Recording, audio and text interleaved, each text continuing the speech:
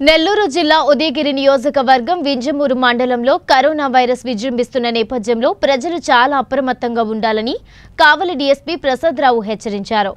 బింజమూరు పట్టణంలో పర్యటించిన ఆయన లాక్డౌన్ పరిస్థితులపై ఎస్ఐ బాజీరెడ్డితో చర్చించారు.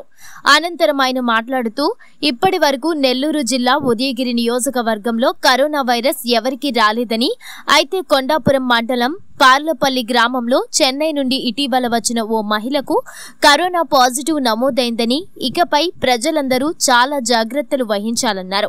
ప్రతి ఒక్కరూ స్వీయ నిర్బంధంలో ఉండి సామాజిక దూరం పాటించాలన్నారు. అత్యవసరమైన పని ఉంటే మోటార్ సైకిల్పై ఒకరు మాత్రమే బయటకు రావాలన్నారు.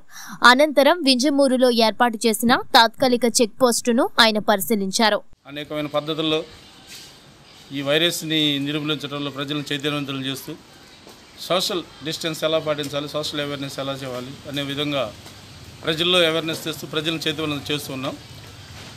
కావలి సబ్ డివిజన్లో రెండు కేసులు వచ్చినాయి. కావలి పట్టణంలో తుఫార్ నగర్లో ఒకటి బెట్టరగుంటలో ఒకటి. బోగుల మండలం.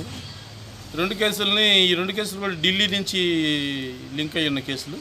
ఆ రెండు కేసులు వచ్చిన తర్వాత రెండు కేసులను కూడా మళ్ళీ సెకండ్ లెవెల్ పోకుండా మిగతా వాళ్ళకి ఎవరికి కూడా రాకుండా ఐడెంటిఫై చేసిన వెంటనే ఇమ్మీడియట్లీగా దాన్ని తెలుసుకోవటం వాళ్ళందరిని కూడా హాస్పిటల్ క్వారంటైన్లో పెట్టడం పెట్టి హాస్పిటల్లో నెక్స్ట్ లెవెల్కి పోకుండా చేయగలిగాం.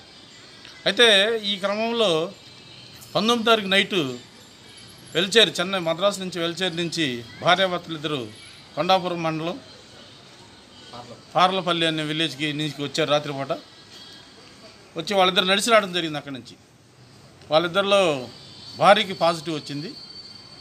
భర్తకైతే నెగిటివ్లో భర్తకి ఇంకా అబ్జర్వేషన్ ఉన్నాం భర్తకి.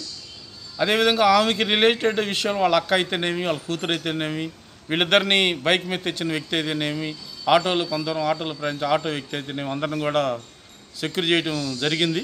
వాళ్ళందరం కూడా పద్నాలుగు మందిని హాస్పిటల్లో ఉంచాం కావలి హాస్పిటల్లో. ప్రస్తుతానికి వాళ్ళు ట్రీట్మెంట్ పొందుతారు కావలి హాస్పిటల్లో. వాళ్ళు అబ్జర్వేషన్ అబ్జర్వేషన్లో ఉన్నారు. అదేవిధంగా గ్రామం మొత్తం కూడా దిగ్బంధం చేసి గ్రామం మొత్తం కూడా చైతన్యవంతులు చేసి పబ్లిక్ని అవేర్నెస్ క్రియేట్ చేసాం పబ్లిక్ని కూడా ఎడ్యుకేట్ చేసాం బయటికి రావద్దని ప్రజలందరూ కూడా అప అప్రమత్తంగా ఉండాలని తెలియజేశాం.